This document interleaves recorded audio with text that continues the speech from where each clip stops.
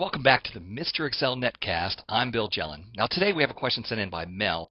Mel is an accountant, and her husband is also an accountant, and they're having a disagreement over whether it's better to use VLOOKUP or index and match. Mel says VLOOKUP works great, and but her husband says no, you should always use index and match. And I'm going to come down on one side here, and I'm sure that uh, you might have a different opinion, and feel free to write to me bill at mrexcel.com on this argument.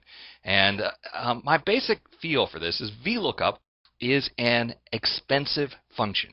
It requires a lot of processing to go find A526 through a table of you know thousands of accounts, especially since the table doesn't need to be sorted. So Excel might have to search through a couple thousand rows to find the A526 here for January.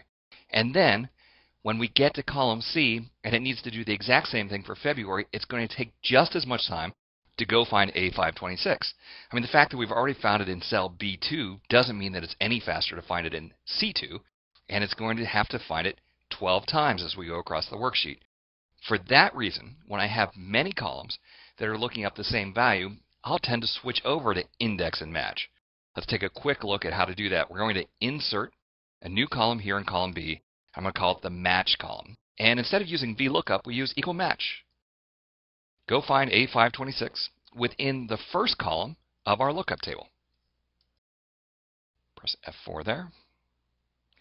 And 0 or false as the third argument. And basically what this does is it tells me that A526 is on row 426 within the relative range. I'll copy that down. Now, when I first saw this, I said, what row is it on? Why do I care what row it's on? I've never had a manager call me up and say, hey, Bill, what row is that on? And so I initially thought, well, I'll never have a use for the match command. But we can now use the index function. The index function will say, hey, go look through the second column of our table. Now I want to make this reference be absolute, but only for the rows. So I'm going to press F4 two times to freeze only the 1 through 1053. And then we need to say which row do we want to grab. Well, we want to grab the row that's in B2, and I want that to freeze only the column. So I'm going to press F4 three times. I don't have to specify the column since I have a one column range.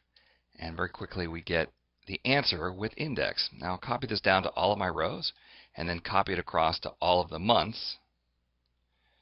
And you'll see that I have the exact same results that I had with VLOOKUP.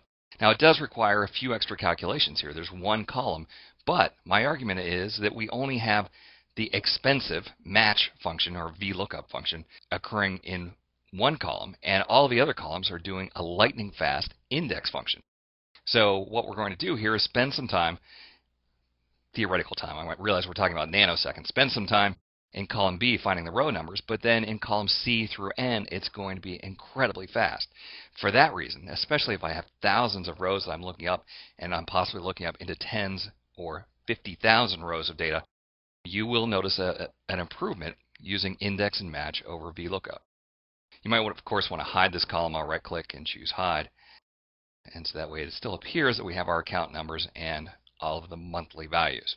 So that's my take. I use VLOOKUP all the time until I get to the point where I have a huge number of columns and I'm worried about response time.